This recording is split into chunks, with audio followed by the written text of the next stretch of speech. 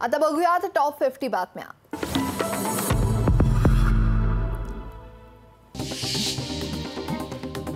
उद्धव ठाकरेंच्या नेतृत्वाला पाठिंबा देण्यासाठी महाराष्ट्रातील एन टी बी प्रवर्गातील देवाचे सेवेकरी महाराष्ट्रातील संस्कृतीची जोपासना करणारे सर्व भिक्षेकरी यांच्या पारंपरिक वेशात मातोश्रीत दाखल झाले होते.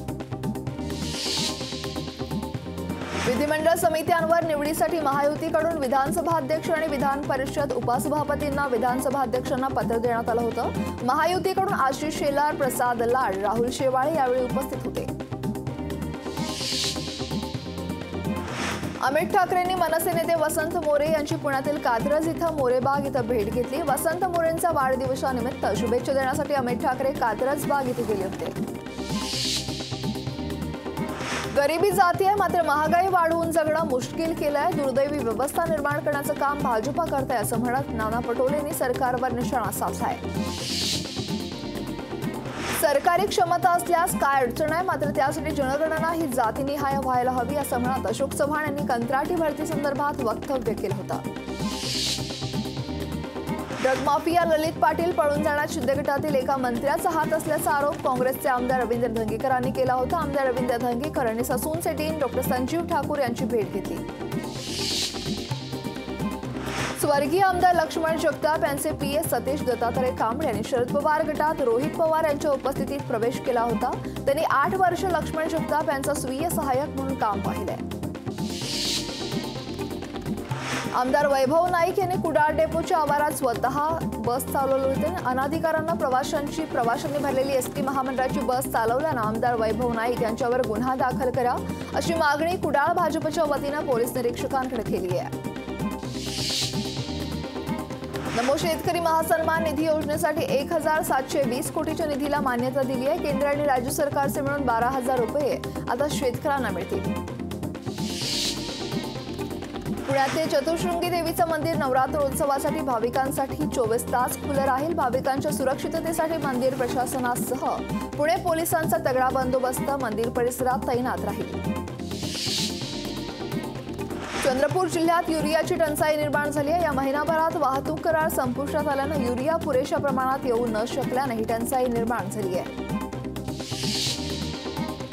भिवंडी शहरातील उपजिल्हा रुग्णालय परिसरात अनेक वाहन रिक्षा उभ्या केल्यानं नागरिकांसह रुग्णवाहिकेला नाहक त्रास सहन करावा लागतोय. नो पार्किंगमध्ये असलेल्या गाड्यांवर कारवाई करण्याची मागणी नागरिक करतायत. तुळजाभवानी मंदिर विकास आराखड्यातील दर्शन मंडपाच्या जागेवरून सध्या वाद सुरू आहे. त्यामुळेच बुधवारी अकरा ऑक्टोबरला तुळजापूर बंदची हाक दिली आहे.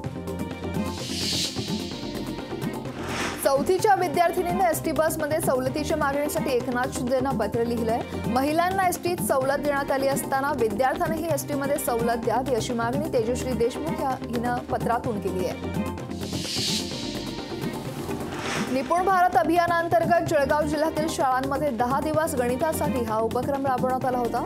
इयत्ता पहिली ते सातवीच्या विद्यार्थ्यांमध्ये गणित विषयाची भीती दूर व्हावी यासाठी हा उपक्रम राबवण्यात आला. तासगाव तालुक्यात टाकाऊ प्लास्टिकपासून बंधारा उभारण्यात आला भारतीय सैन्यातील सचिन देशमुख आणि त्याच्या काही मित्रांनी टाकाऊ प्लास्टिकवर संशोधन करत हा बंधारा एक महिन्यात तयार केला.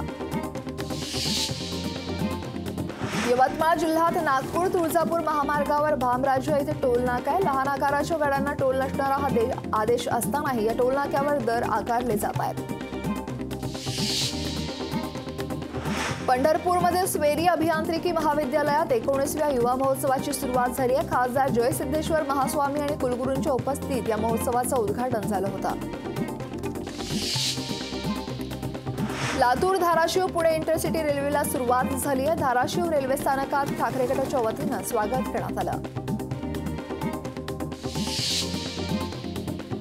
सिंधुदुर्गच्या जंगलातील जम्पिंग स्पायडर या कोळी संवर्गातील नवीन प्रजातीचा वन्य अभ्यासक गौतम कदम यांनी शोध लावला होता. चीन आणि मलेशियात झालेल्या नोंदीनंतर भारतातील या कोळीच्या प्रजातीची पहिलीच नोंद ठरली आहे. छत्रपती शिवाजी महाराजांच्या राज्याभिषेकाच्या निमित्तानं आणि विश्व हिंदू परिषदेच्या हेरक महोत्सवानिमित्तानं बजरंग दलानं शिवशौर्य यात्रेचं आयोजन केलं होतं. गडचिरोली जिल्ह्याच्या कोरची तालुक्यातील लोहखाणीतून लोहखनिज काढताना होणाऱ्या प्रदूषणाबाबत प्रदूषण नियंत्रण मंडळानं पर्यावरणविषयक जनसुनावणी ठेवली होती. आमदार निरंजन डावखरे यांच्या स्थानिक निधीतून स्वर्गीय वसंत डावखरे ज्येष्ठ नागरिक कट्ट्याचा लोकार्पण सोहळा संपन्न झाला आणि यावेळी पालिका आयुक्त अजय वैद्य माजी महापौर विलास आर पाटील आणि ज्येष्ठ नागरिक उपस्थित होते. आगर नांदर इथं ग्रामपंचायत कार्यालयासमोर ग्रामस्थांचं उपोषण होतं. स्वच्छता तसंच रस्त्याच्या सुविधेसाठी हे उपोषण केलं होतं. कोल्हापुरात आरक्षणाची मागणी करत सकल मराठा समाजानं जेलभरो आंदोलन केलं होतं. मुदतीत आरक्षण द्या अन्यथा चोवीस ऑक्टोबर नंतर समाजाचा रोष महागात पडेल असा इशारा यावेळी देण्यात आला. सांगली जिल्ह्यात टोलवरून मनसे आक्रमक झाली होती. अन्यायकारक विरोधात मनसे आक्रमक आंदोलन करेल आणि राज ठाकरेंच्या आदेशानंतर मनसे रस्त्यावर उतरून टोलनाके बंद केल्याशिवाय स्वस्थ बसणार नाही असा इशारा सांगली जिल्हा मनसेचे अध्यक्ष तानाजी सावंत यांनी दिला होता. शहरातील मिल्लतनगर परिसरातील नागरिकांना दूषित पाणी पुरवठा होत असल्यानं नागरिकांचं आरोग्य धोक्यात आलंय. विशेष म्हणजे महापालिका प्रशासनाचे याकडे दुर्लक्ष होतं याचा आरोप नागरिक करतायत. जे जे हॉस्पिटलमधील विद्यार्थ्यांकडून विविध मागण्यांसाठी आंदोलन करण्यात आलं होतं तसंच अनेक तासांपासून वीज आणि पाणी कापल्यामुळे विद्यार्थ्यांनी हे आंदोलन केलं. पंढरपूरमधील सांगोला तालुक्यात टोल वसुली बंद करण्याची मागणी करण्यात आली आहे. अनकढाळ इथल्या टोल नाका आठ दिवसात बंद न झाल्यास टोल नाका फोडू असं वक्तव्य आणि लेखी इशारा संघटनेनं दिला आहे. अनुसूचित जातीचं प्रमाणपत्र मिळावं आणि महश्री वाल्मिकी आर्थिक विकास महामंडळ स्थापन करण्याच्या मागण्यांसाठी जळगावमध्ये आदिवासी कोळी समाज आक्रमक झाल्याचं पाहायला मिळालं.